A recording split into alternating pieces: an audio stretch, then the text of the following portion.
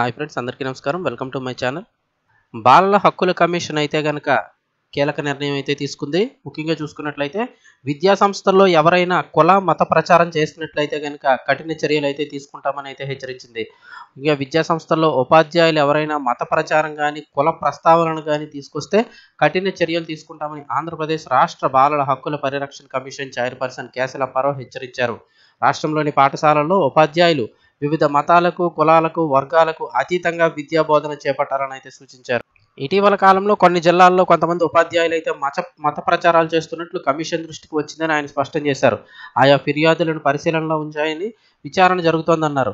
హిందూ లేదా క్రైస్తవం లేదా ఇస్లాం జైన్ సిక్కు మొదలగు ఏ విధమైన మతాలను కూడా పాఠశాలల్లో ప్రచారం చేయడం కానీ బోధించడం కానీ చేయకూడదని అలా నిబద్ధ నిబంధనలకు విరుద్ధంగా ప్రచారం చేసినట్లయితే వారిపై శాఖాపరమైన చర్యలు తీసుకోవడం జరుగుతుందని ఆదేశాలు జారీ చేశారు.